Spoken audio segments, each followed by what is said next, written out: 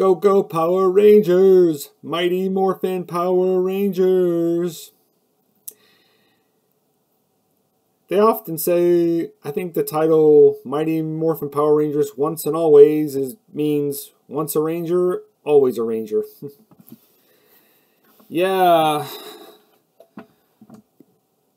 The Rangers are back.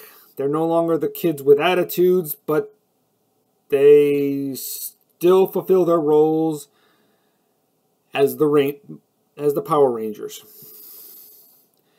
Of course, you know if you weren't a kid in the 90s, you you won't know who the Mighty Morphin Power Rangers were. Now, on the other hand, some kids have rediscovered the series and and discover what the the enjoyment of of what the Mighty Morphin Power Rangers are. Of course, you know there were other series after this, after the show ended, that taken up the mantle. And in 2016, there was an attempt to reboot the franchise. But unfortunately, it didn't fare well with critics, so that's why there was no sequel. Hmm, bummer. Now, uh, now seeing these some of these actors reprise their roles from the 90s show. Now, not all the actors do reprise their roles, but for that they do manage to work it work around it pretty well, I must say. Who do reprise their roles? David Yost is Billy and Walter jo Jones is Zach. of course, they were the blue and black Rangers. And the story is Rita Repulsa returns.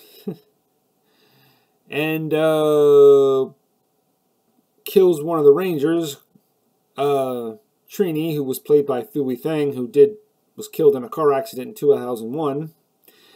And Zach is left raising her and making sure she's okay, trying to be this father figure to her and and she so angrily wants to avenge her mother's death. She wants to be a Power Ranger.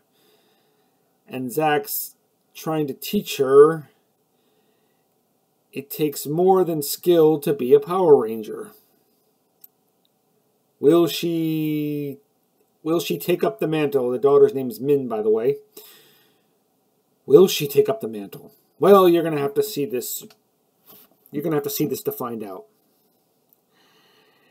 Yeah, it's a shame we lost two of the Power Rangers, Thuy Trang and Jason David Frank. And I like the way this episode this does pay homage tri- I mean tribute to them. And I like the way it kind of trying to make it feel like a, a 90s episode with some new emotional depth added to it. And it does it quite well. I mean, the dialogue is not quite as campy as it was, but still fun to watch.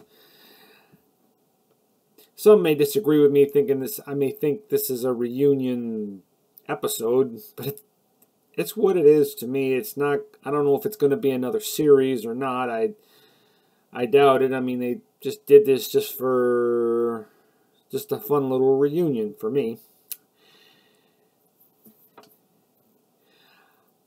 I think the Power Rangers will live on for a while. I mean, it's clear that even kids today will always embrace what what the Power Rangers stand for. Now, I'm going to say this, the two lovable dim-witted bullies, Bulk and Skull.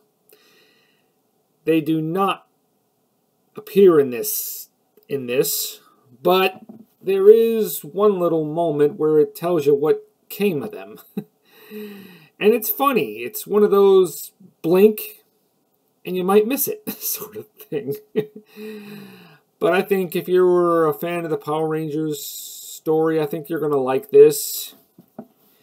It, it makes you rediscover what being a Power Rangers fan was all about, so give it a 9 out of 10. Talk to you later.